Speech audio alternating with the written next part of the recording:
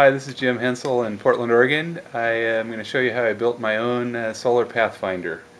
So I started out with a piece of scrap wood. This happens to be uh, three quarters of an inch thick, so it's a one by material. It's nine inches uh, wide and it's a foot long, but you could use plywood or anything else.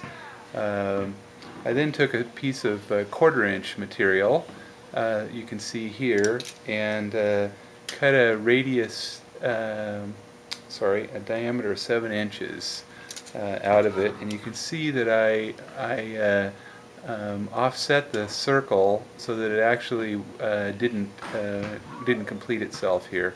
So this this piece of wood is seven and a quarter this direction uh, and there's about an inch uh, up here so it, it, uh, it, it, creates this nice little gap here and that'll be important in a minute. So that's a 7 inch diameter circle. Um, I then glued and stapled that or screwed it, you could do it, or nailed it however you wanted, to this board.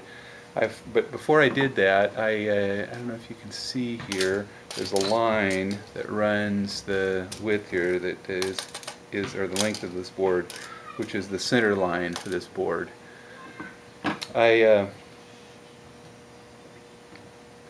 I then took the remnants of this circle and cut a piece that looks like this.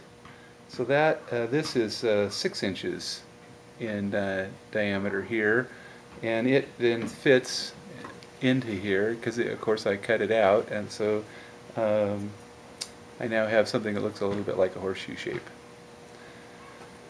On the back side, I took a piece of aluminum. I didn't want to use steel because there's going to be a compass involved with this. I took a piece of aluminum. You can see it's just a raggedy uh, piece.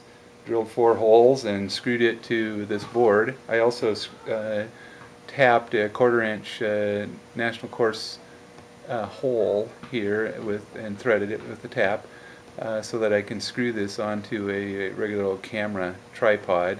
I did drill a, a half inch hole behind this hole in the wood, oh maybe uh, uh, three eighths of an inch deep, so that the uh, if the if the uh, tripod bolt that would go into this hole happened to go be uh, longer than the thickness of this material, that it wouldn't hit the wood, that it, there'd be an, a, an area there for it.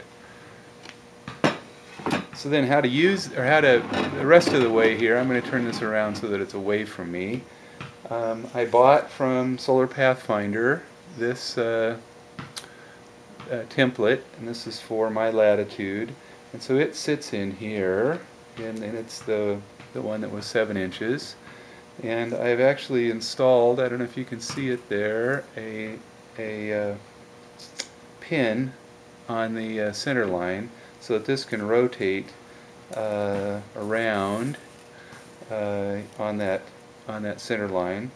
And uh, up here the line the center line that I drew on this board extends above because there's a uh, declination magnetic declination adjustment that needs to happen. In our case we're 16 degrees east and so I can turn it uh, 16 degrees. And uh, then I did also bought from uh, Solar Pathfinder this uh, dome. In hindsight, I think you could probably use any dome. Uh, I've seen some other YouTube videos where people look like they've used uh, glass lids from uh, pots. Um, but I bought this dome, dome from them. And it goes on uh, as well here. And then this little retaining piece retains the two together. So there you have uh, a now a solar pathfinder. Uh, I made some oops, made some clips on the side here out of aluminum that just can turn slightly. I'll show you those in just a second. So you can see, uh, if I can get this uh, light right, you can see this clip and you can see this clip. So that holds this ring in place. So now the whole thing is not going anywhere. So now this would be mounted on a uh, tripod using this uh, tripod mount here and the tripod and this would need to be uh, level And uh, my tripod has a, uh, a bubble level on it, so I can level the, the head of the tripod before I screw this on. Y- You could also go to a RV, recreational vehicle supply store, and then for three or four dollars, they would sell you a, a bubble level that levels all four directions at once. And then uh, a uh, compass can sit back here, and you can rotate this uh, so that the the line that run on this board runs uh, due south, and then uh, take a picture from above, which I've taken one that I'll include at the end of this video.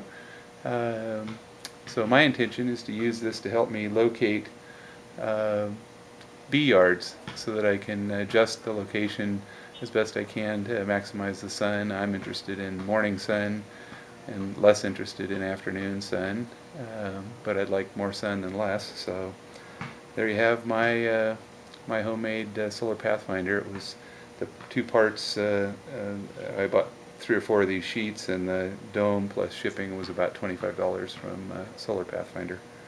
Uh, there you go. Enjoy. So here's the uh, center line that I've been talking about. You can see it running through and on on through all the way. And then I have a compass here that I'm going to put on that line. And then I have lined up the needle uh, so that it's uh, on the line. Maybe it'd make it a little better if I did that. Like that. So uh, I've also up here you can see that I've set it for 16 degrees east declination so that south actually is is more off this direction uh, true south. Um, so just to back up a little bit here's what the whole thing looks like